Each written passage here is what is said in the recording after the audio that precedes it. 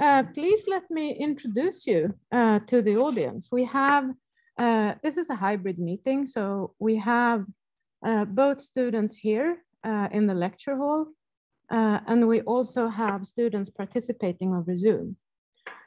so when it's time for questions, which we will do after your talk, we will take questions from the audience that is here and also from the chat.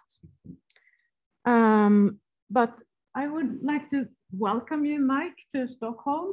Uh, are you in London right now? Or I am, yeah.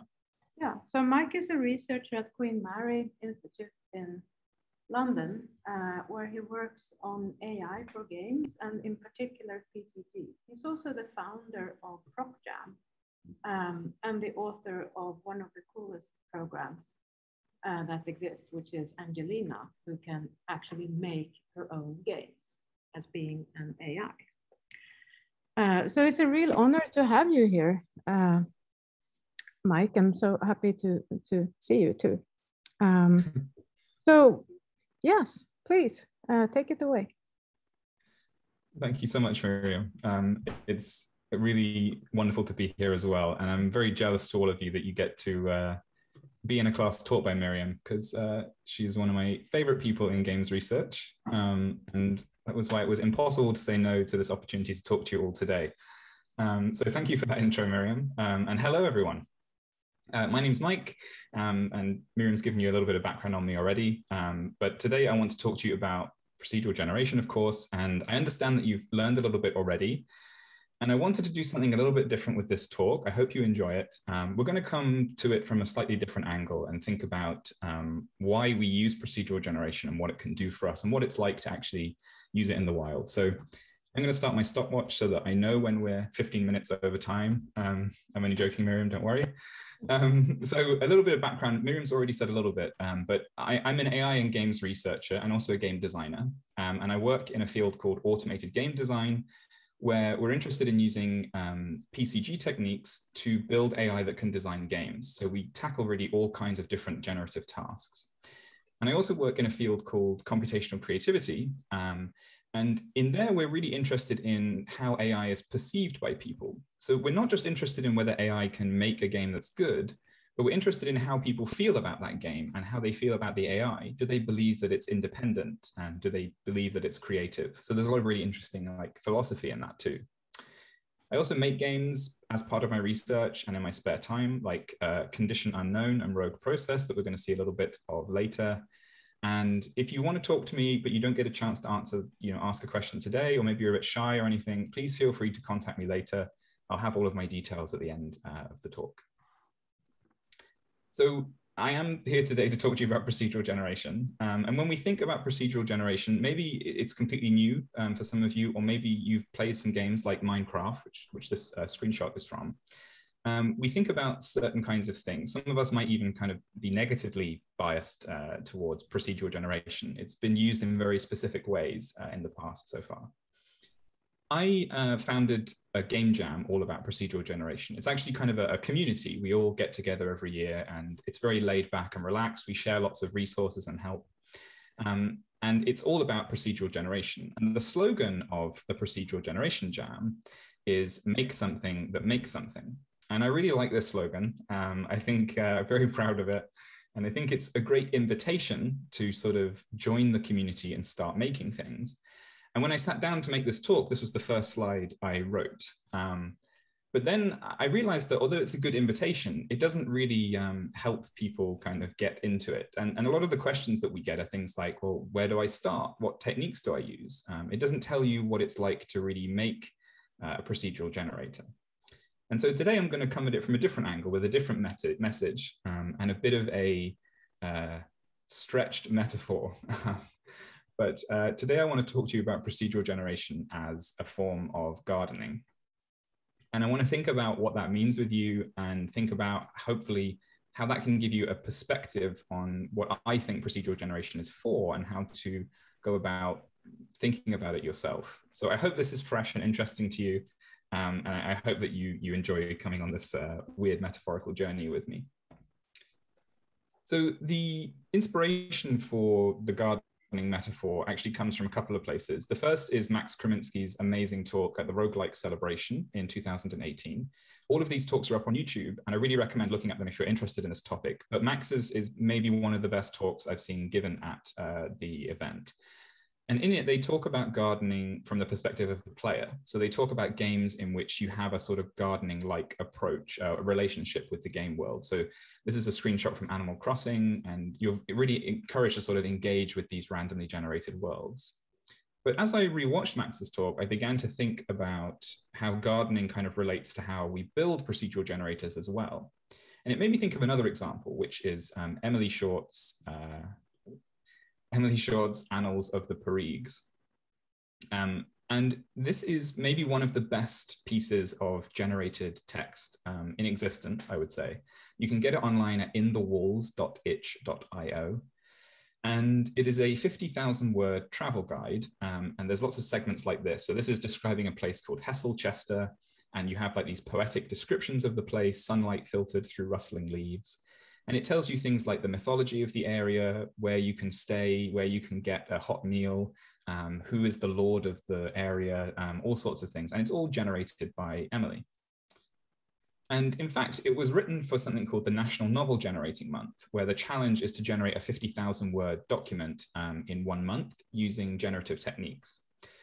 And the thing that's really interesting about it is, um, oh, is that uh, Emily um, includes an appendix at the end um, where she describes the process of writing the annals. Um, and I think it's one of the best segments uh, about procedural generation that's ever been written. Like it's one of the best pieces of writing about procedural generation. Um, and if you only look at one thing as a result of this talk, I really recommend you pick that out and have a look at it. And there's a few sections in there that really stand out to me, and I, I've quoted one of them here. Emily writes, I spent considerable time working on the machine, meaning the, the procedural text generator, and its various features before I produced anything that I considered worth recording here.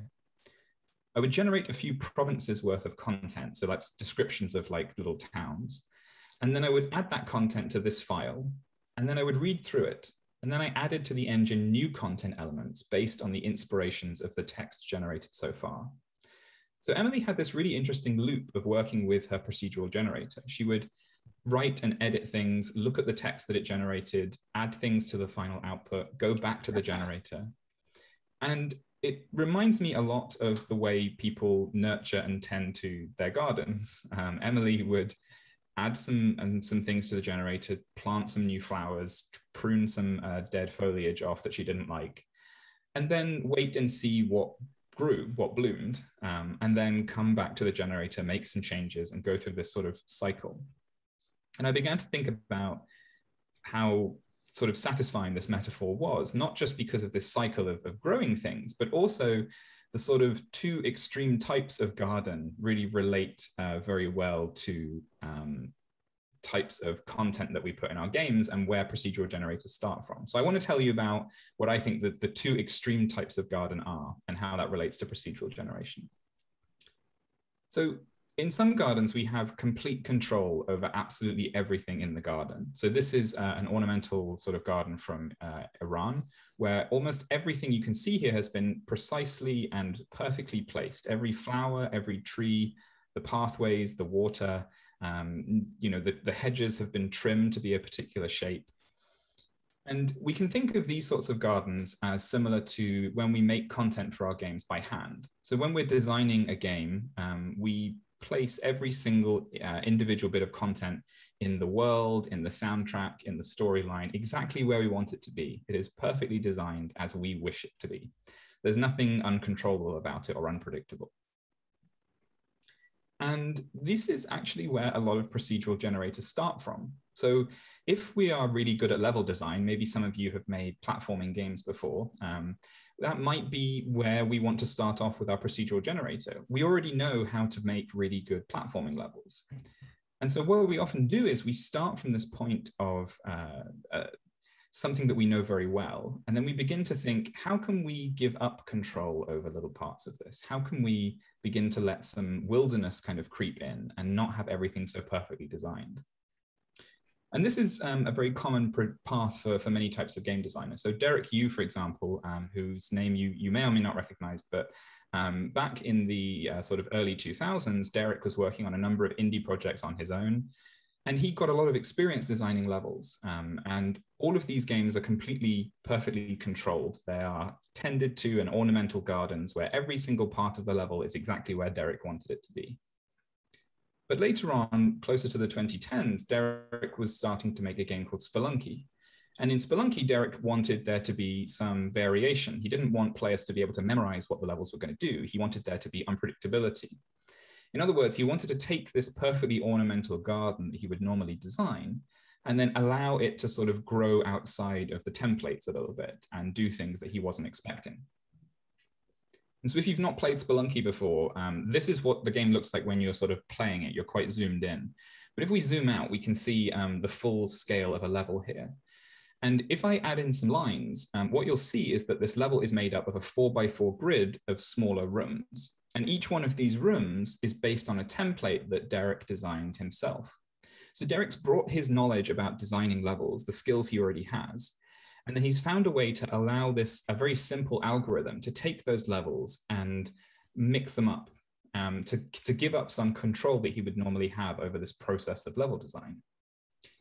And he actually layers on a little bit more than that. So each of these templates he designs, they actually kind of look like this. Um, and these, these tiles that I've labeled as 50%, when they get loaded into a level like this, the game rolls some dice, and either that's going to be a solid block if 50% rolls high, and it's going to be empty if it rolls low. And there's loads of little rules like this for adding in traps and enemies and treasure. Um, and what it means is that the heart of Spelunky is designed by Derek, but the game that people play is a bit like a garden that's been slightly overgrown. There's some wildflowers poking out through the uh, stone walls and uh, there's a bit of moss on the side of the shed. It's not exactly as he as he designed it. There's a little bit of variation in there. So one end of the spectrum is that we start from total order and we allow a little bit of wilderness to grow in.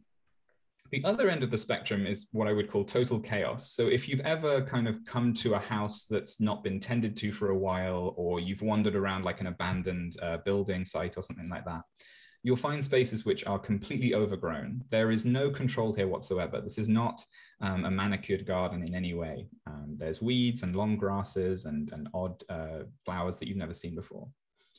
And some procedural generators start from these points as well. Um, so uh, a, a, common example is um, the use of something called noise functions. So I don't know whether you've come across these before, um, but a noise function is uh, a way of essentially getting some uh, random looking numbers um, that have maybe some kind of regularity to them, but, but not in a predictable way. So what we're actually looking at here is two-dimensional noise. It's actually something called Perlin noise. Um, and you don't need to know exactly what that means, but essentially, if we give this function two numbers, um, it will give us a number between one and zero as the output. So every pixel on this image that you're seeing here, um, the X and Y coordinates of the pixel have been fed to this function, and it's given us a number between zero and one. And then we've mapped that to a color on the grayscale between white and black, where like zero is white, one is black, and then 0.5 is gray. And what you get with this noise function is you get a very kind of cloudy image. You, you get a sort of unpredictable but very textured um, output. And what people is, do is they use these noise functions to create organic looking things. So they were used a lot in textures back in the 90s to, to make like fire or clouds. But a really common application of them is to make worlds. So if we map um, these numbers to kind of height, um, we can create maps. So this colored image here, the white is sort of the tips of a mountain. And then there's like the brown hills, the green grass, yellow beaches down into uh, shallow water and then ocean. And all we've done here is mapped the noise function to colors, and it's created a kind of world map for us, sort of. And this is also can also be done in 3D. And in fact, it's actually how Minecraft uh, creates its worlds. Now, there are often, you know, a, a, noise function on its own won't do it for us. So what often happens is like this is not an interesting world to play in. And so when people build these build games using this uh, sort of uh, approach, what they often do is they often like combine different noise functions. Um, by the way, this was an oversight by me. If you're blue green colorblind, I apologize. This basically just looks like the background image. It's just recolored. Um, but what they'll do is they'll get multiple noise functions, um, and then they might kind of stretch them or rotate them and lay them over one another. And then what we could say is um, this extra noise function that we've got could decide where we're going to put trees in our world. Um, but maybe it's a special kind of tree that only grows up a mountain. And so we have this sort of rule that says if the uh, height map is above a certain height and the tree noise function is above a certain value, then you can place a tree there or something. So this is obviously, uh, I'm obviously waving my hands a lot here, but um, these are the kind of approaches that are used in games like Minecraft. So Minecraft uses lots and lots of noise functions and randomness, um, but then it has ways of shaping them and lots of rules that sort of prune and control exactly how they come out. Um, but the difference between the approach we looked at before with Spelunky is that this is starting out with something which is very unpredictable, and then we're sort of refining it over time. So Minecraft's world generator is the result of a lot of small tweaks and changes by people until they get something that they feel looks okay. And there's a lot of disadvantages and advantages to using this approach over a handcrafted approach. Um, one disadvantage is that this is very unpredictable, but it's also very organic. It's very uh, interesting to walk around in, which is one of the reasons why it's so pleasant to run around Minecraft. So these are what I think of as sort of the two starting points for most procedural generators. Some of us start out from something that we feel confident making, something that we have a lot of control over, and then we give up some of that control. Others start out with something completely random that, that may be kind of messy and doesn't isn't what we want. And then they find ways of filtering and shaping until they get to something which, um, which they can use. And to me, procedural generation is about everything in between those two extremes. It's about figuring out exactly which parts of your garden you want to become overgrown and which parts you want to be tightly controlled. Um, and that's where the joy of experimenting in the same way that Emily Short did with her travel guide um, comes from, I think.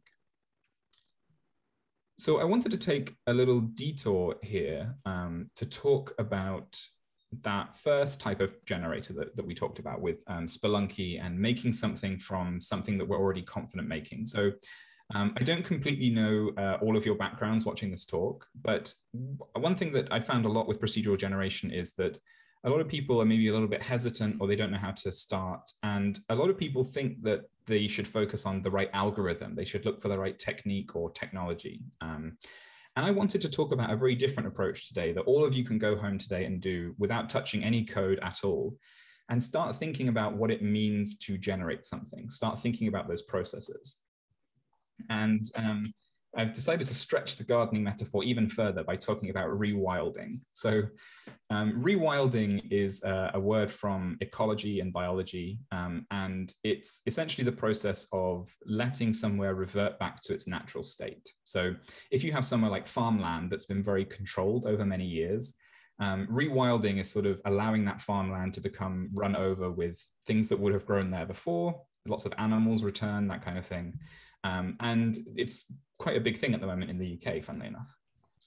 So what I want to show you is sort of how you can go about the process of rewilding something which maybe you're confident in making. So what I'm imagining for this section is maybe you are someone who hasn't used procedural generation before, maybe even is a bit skeptical, but you are really good at writing or level design or music composition or something. So how can you begin to think about what, what this technique means and how it could be useful for you?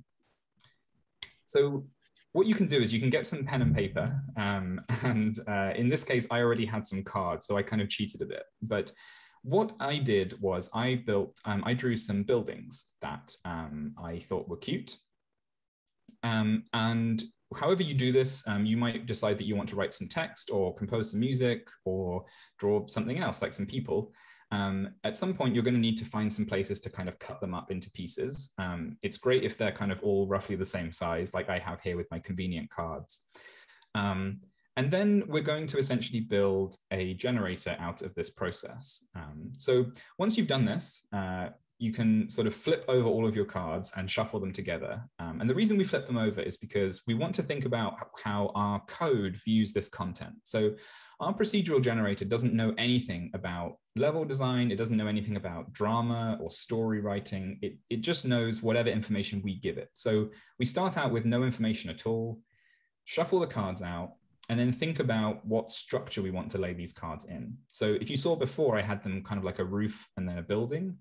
And so I'm imagining this is kind of my imagined rule for, for, for generating some. So I'm going to place two cards on top of each other from this shuffled pile and then flip them over and see what I get.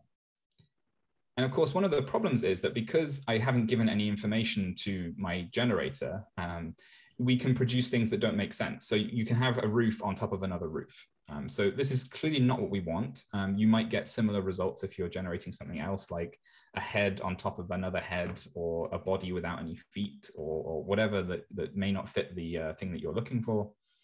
So that's fine. So at this point, you're going to get a pen and we're going to flip those cards back over and we're going to give ourselves a little bit of information. So you could limit yourself just to sort of doodling on the back with a particular color, some kind of tag or like a single word, but you can't write like a full description of what it is. It has to be like one word, something very simple, something just to give you a bit of guidance. Um, and actually, for this stage, it's even better if um, once you've done this, instead of you dealing out the cards, um, you actually give it to like a friend or someone else, someone who really doesn't know what's on the other side of them. And once we've added this bit of data, this is kind of like giving information to our, our generative algorithm, right? So we can now have a slightly different um, set of rules for when we're generating this. So instead of just putting two cards, we can now say, okay, well, we want the top card to say roof on the back and the bottom card to say building. Um, and this is an additional bit of information. We're using some of this uh, data that we've given our system. And now we get uh, a nice building out of it because we've, we've created some constraints and our generator sort of knows a bit more about what to do. And we've actually got a cool output. We've got a bakery that has an observatory on the top, um, which is like interesting, you know, it's a bit different. And of course, you might not want this. You might want this. This might be kind of inappropriate for what you need your buildings for. So you might need to add more uh, labels or more information or change the way you generate. But once we've got this down, we can actually think about, well, now that I've got this basic system, I could create two story buildings. I could create a building with a roof and then two buildings underneath and you begin to think about how you could extend your generator. And then as you do this, and this is again going back to this cycle of like extending and then looking at it and thinking, you can see here that, oh, the second story actually has a door on it, which means if someone walked out of this door, they would fall one story down and then hit their head on the floor. So this is no good. So, you know, we go back and we add some more labels. Maybe we add a label to the bottom that says, okay, this is a ground floor building. This has a door on it. Um, and then we add some second story buildings that don't have doors. So we, we have this cycle of going back and forth and extending our generator, adding little bits of information. And we don't need to write any code. We can think about how are we changing the space of possibilities with what we do. So every time we change our process for dealing the cards out, every time we change the cards in our deck, every time we add a different label to the back of one of these cards, we're changing the possible things that this set of cards can represent. And that's really at the heart of procedural generation is thinking about all of these possibilities and thinking about how you can shape the ones that you want to make them more likely and get rid of the ones that you don't want to make them less likely and think about how much surprise and unpredictability you want in there. And really these paper-based approaches are very effective. Um, often we want to do something very complicated. We want to do something very fancy that uses the state-of-the-art cutting edge stuff. But that doesn't always make us better at using procedural generation. And actually, Derek Yu's Spelunky generator is still probably the best example of a procedural generator in any game ever, because it was exactly what that game needed. It was perfect for that game design.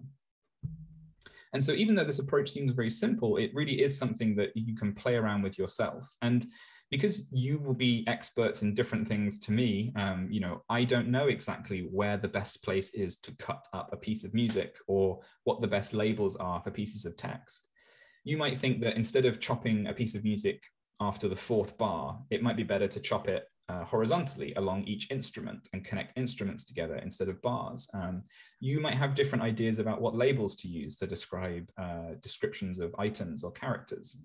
But this basic thing of chopping something up, labeling it, and reassembling it like a jigsaw is the foundation of a lot of really impressive uh, procedural generators. And it's it's not complicated. It's it's something that you can really get started with very easily and start thinking about many of the issues that the field has.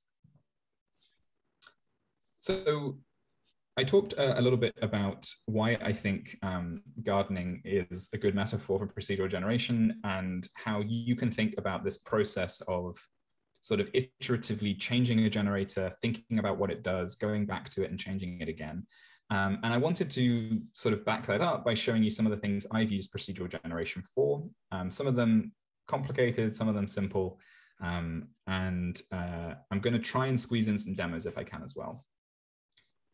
So the first thing I wanted to talk to you about was a game I was developing called Rogue Process. Um, Rogue Process was an action uh, platformer, kind of in the vein of Spelunky, where you broke into skyscrapers and uh, hacked security systems to steal things from corporations. Um, so I wanted the skyscrapers that you broke into to be procedurally generated. I wanted them to be different every time. Um, but I also wanted to be able to quite tightly control the kinds of experiences that you had in them. And so I ended up using an approach very similar to Spelunky's. So what you're seeing here is a catalog of loads of different rooms that I designed by hand, um, and that the game would assemble uh, kind of like Spelunky's levels by gluing them together and um, making a, a whole level out of them.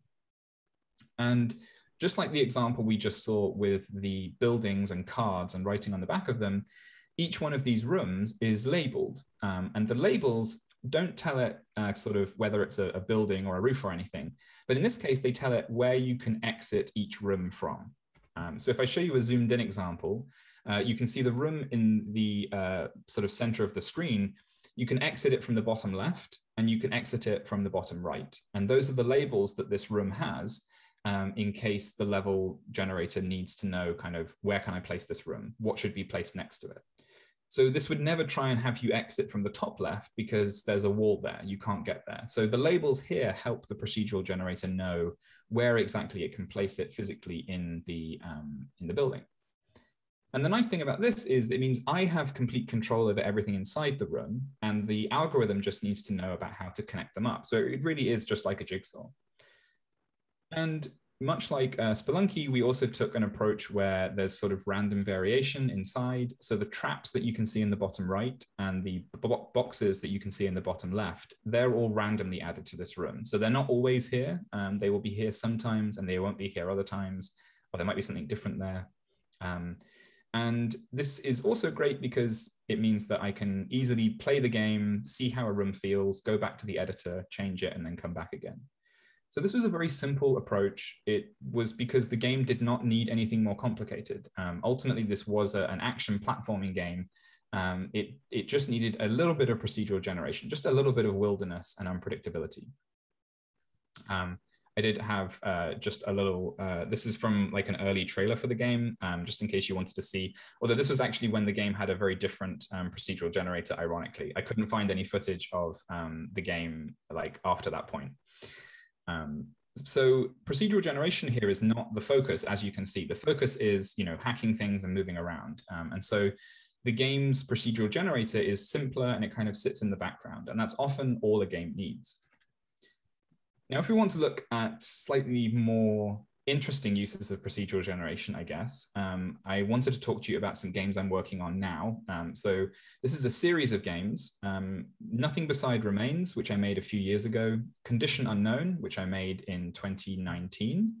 And Stargrave, which I started last year and I'm still working on. So these were all game jam entries, but Stargrave I couldn't finish. So um, I'm, I'm sort of working on it every now and again uh, when I have time.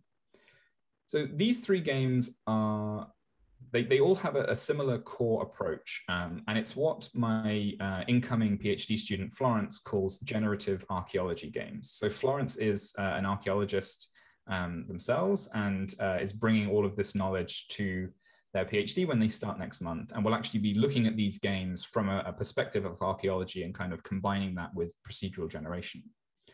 So what do we mean by generative archaeology games? So the way these games work is we generate um, a, a, kind of a very small world.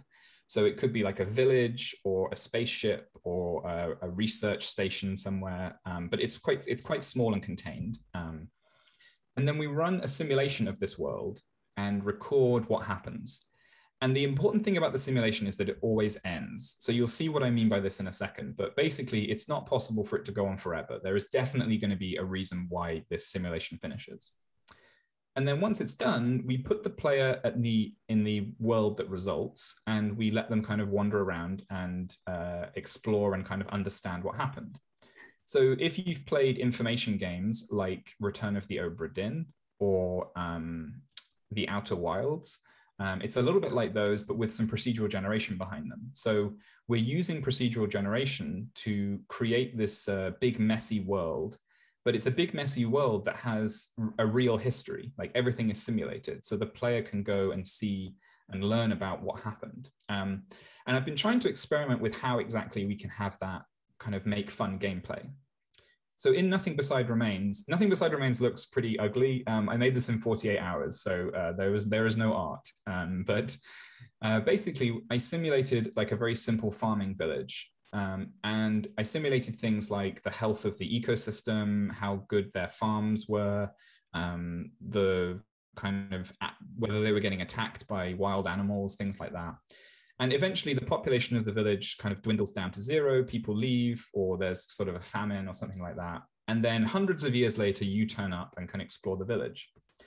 And as you explore, um, the village sort of tells a story of what happened. So if you can find a church, for example, um, the people that lived in the village will have engraved things that represent kind of the struggles that their village was facing. So in this example, um, there's an engraving of fields of, of crops growing. And that means that this village probably had problems with their farming. So they were sort of praying for, for better um, harvests.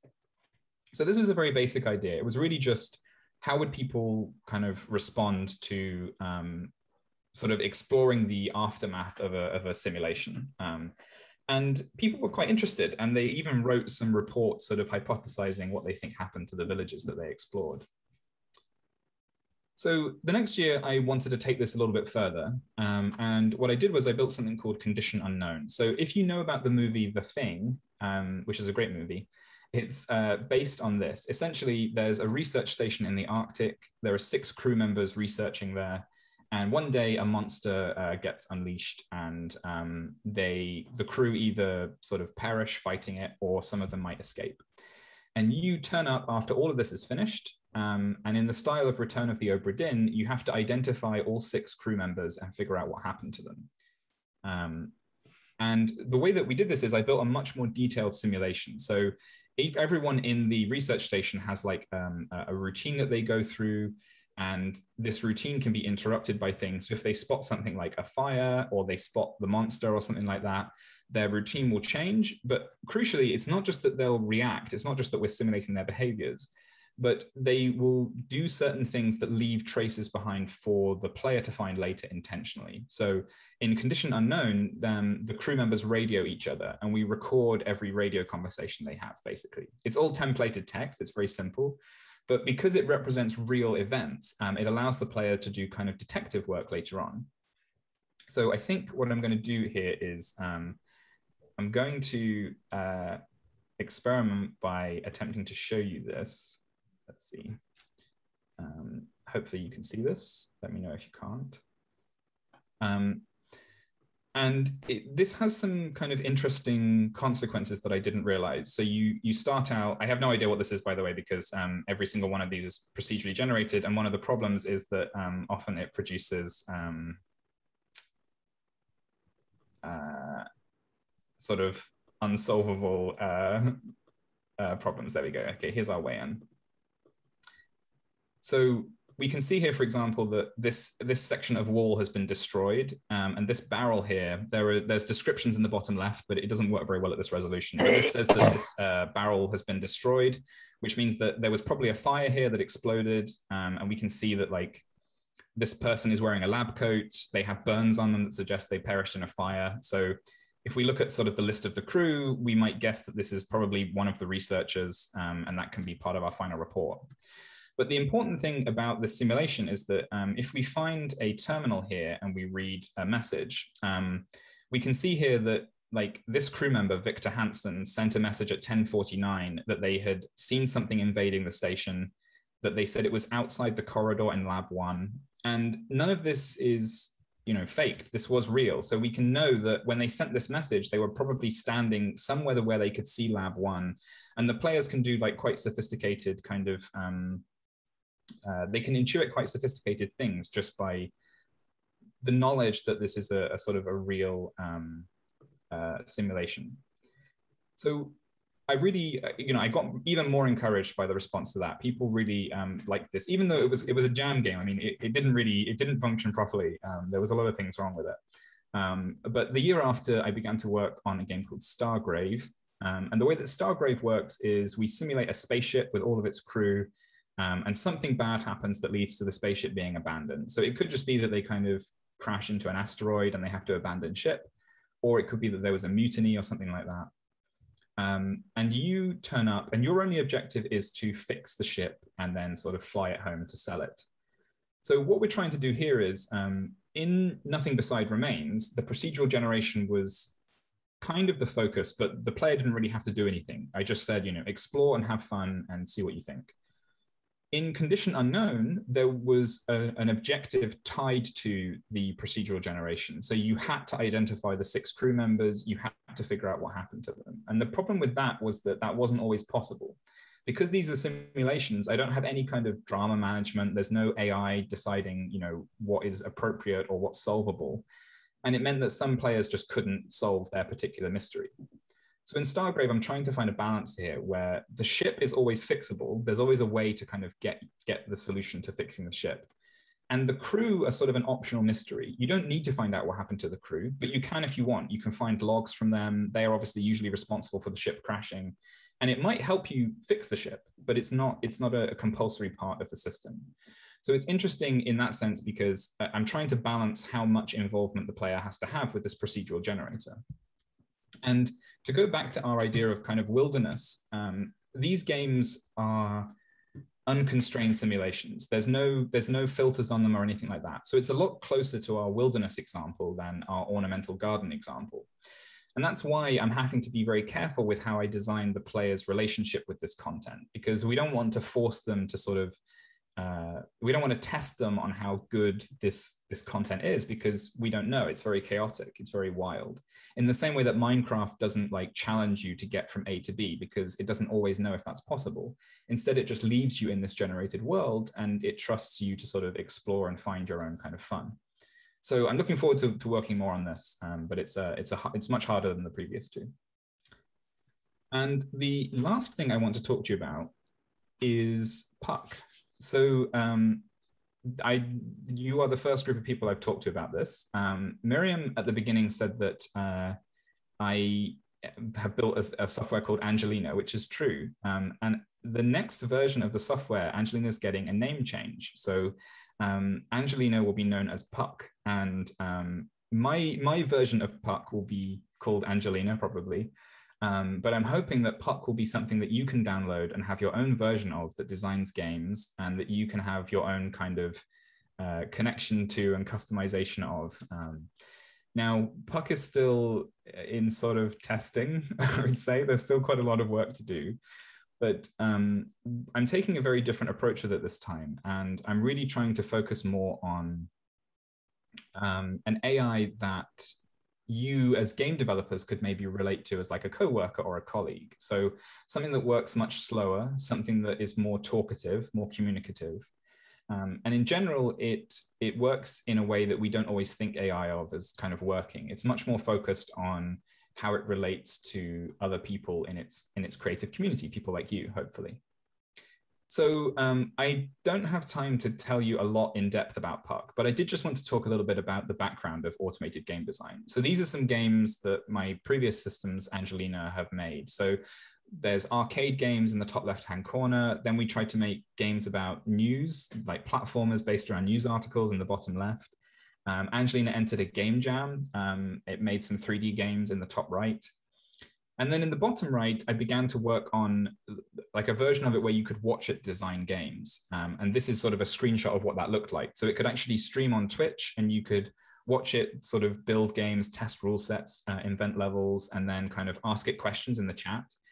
And this is something which I never fully finished with Angelina. And so I've, I've started with Puck, and this is sort of like the main focus. So the idea is that Puck is something that you watch work. It's not something that kind of lives on my laptop like it used to. Um, hopefully, it will be something which you will be able to interact with yourself, fingers crossed. So the reason why I wanted to talk about this is because I wanted to encourage you to kind of get a bit silly with procedural generation if you want to. Um, so we think about procedural generation, we think about generating like levels, we think about generating maybe music, um, store a bit of text. But procedural generation can be applied to anything, and you don't need to invent a, complicated technique often to make that happen. So let me tell you a little bit currently about how Puck uh, designs rules for games. So this is a description of noughts and crosses. Um, so the players take turns placing pieces on a three by three grid. The first player to get three in a row wins.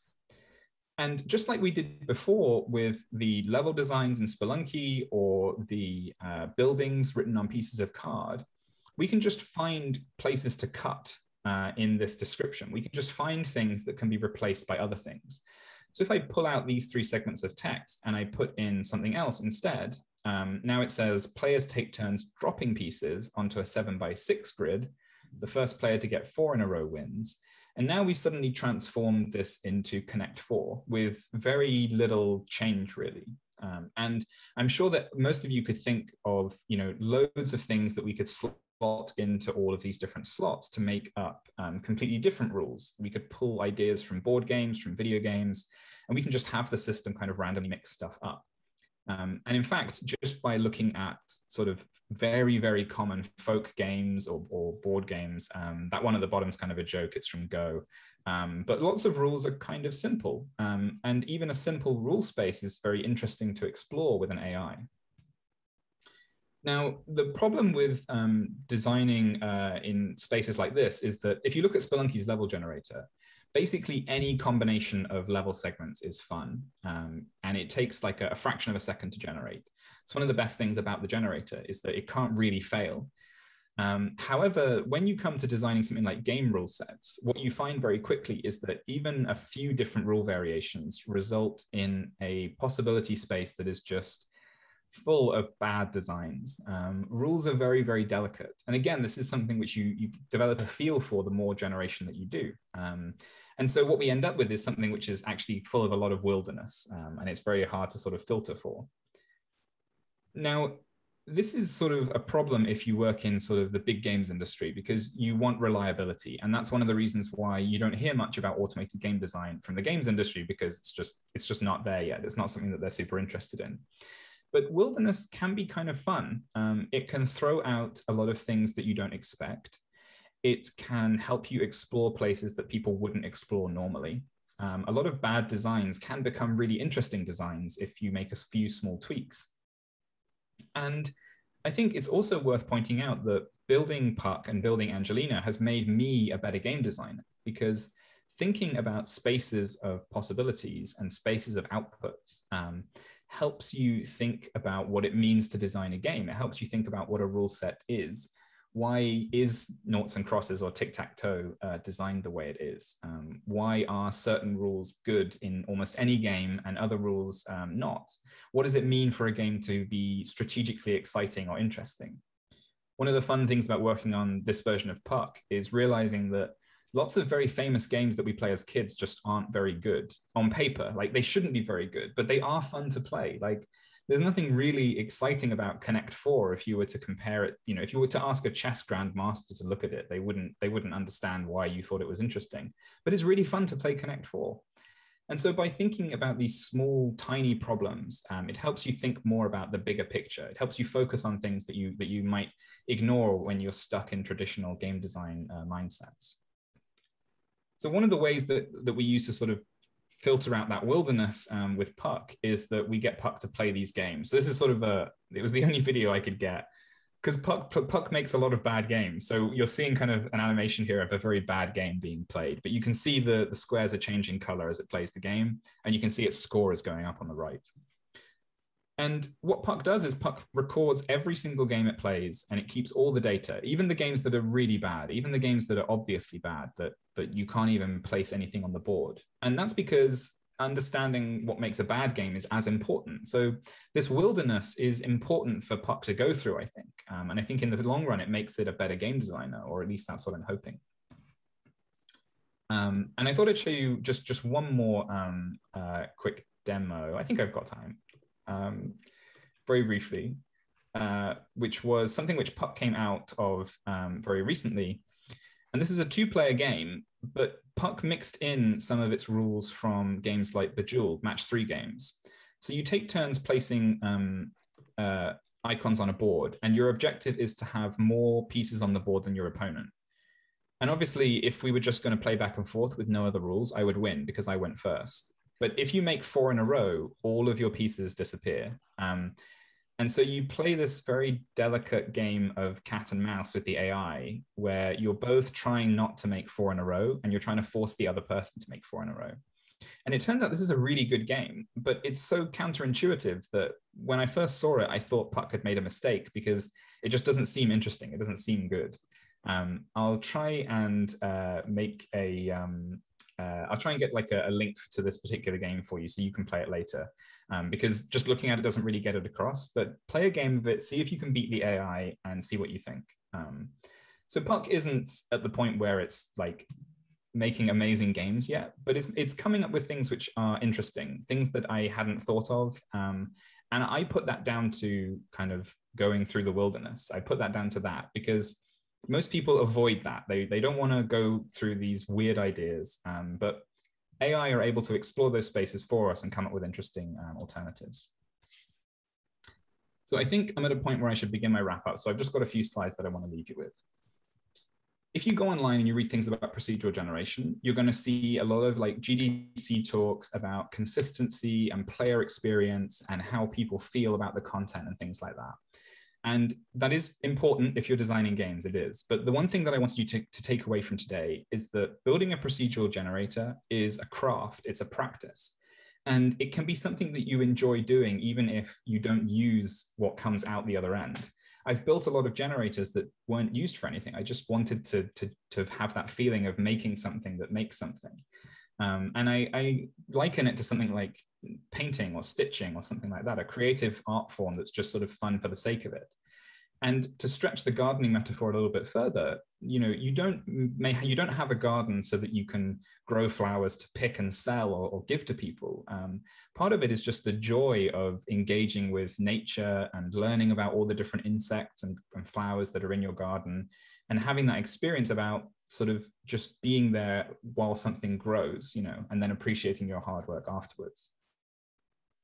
There's this thing in procedural generation called the thousand bowls of oatmeal problem and it's used to criticize uh, procedural generators that aren't very uh, good.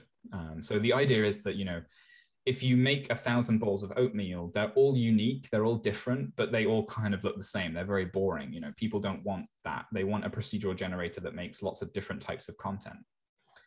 But the thing I want to just leave you with is the idea of uh, what it would actually take to build a machine that made bowls of oatmeal. Like people spend a lot of time perfecting their oatmeal recipe and finding the exact balance of ingredients that they like. And I imagine that if you built a machine to make the perfect bowl of oatmeal, you would learn a lot about not just oatmeal, but cooking in general, your own tastes. Um, and it would be a kind of a large project, probably. And so when we think about things like this, when we think about procedural generators, it's easy to get tied up in just thinking about the output, but it's also about the process of making. Um, and that's kind of the thing I wanted to give to you today. It's so, you know, we talked about how a procedural generation is like tending to a garden. We talked about the two types of garden, total control, total chaos. Um, this is uh, someone's garden where they've ended up getting rid of a bit of wilderness.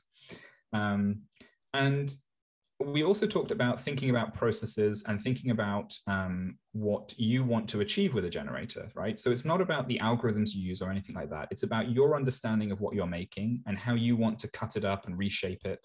Um, and that's really the most important thing is just playing around and practicing.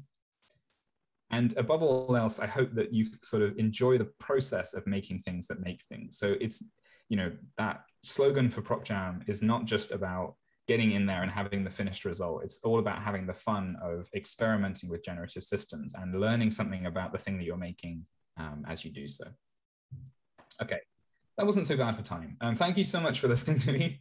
Um, there's more things from me on my website, possibilityspace.org, including a couple of tutorials about procedural generation um, that have little interactive JavaScript like level generators that you can click and change. So you might like that if you've liked some of the stuff I've talked about today. Um, and as I said at the beginning, if you want to talk to me about anything, you can tweet at me, you can email me. And I also wanted to shout out both of my amazing PhD students, Younès and Florence. um, you should follow both of them on Twitter as well because they're doing very exciting work um, in these sorts of areas. So if you like this talk, you'll like what they're doing as well. Um, and yeah, that's all I've got to say. I, I hope it was uh, I hope it was interesting, and I hope you enjoyed it. And thank you so much for having me. Wow, Mike, what an amazing talk! Thank you so much. Big applause.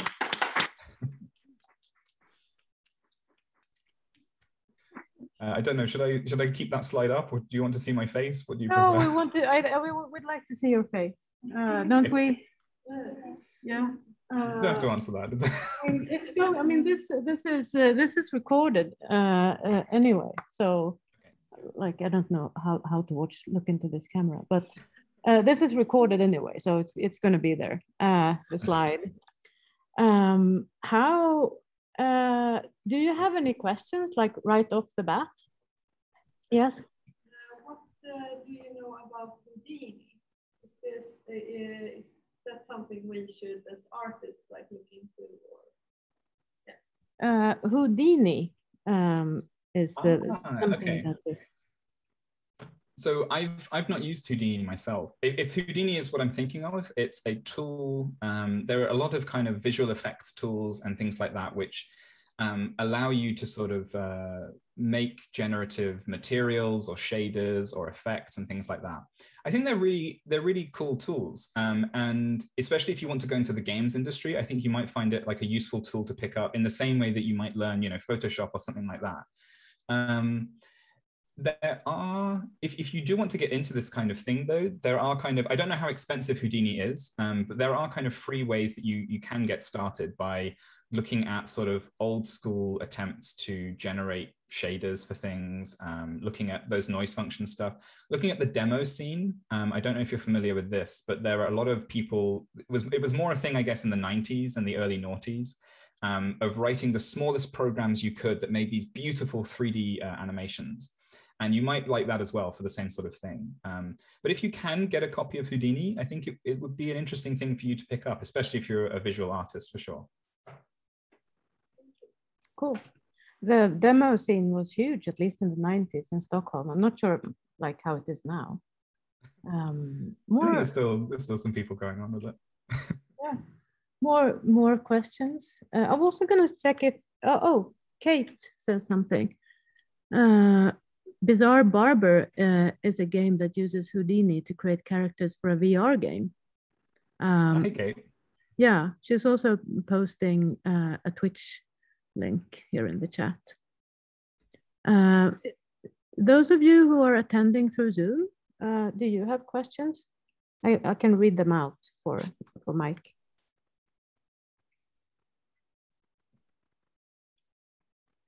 So I have to say that it's super interesting to hear about Puck.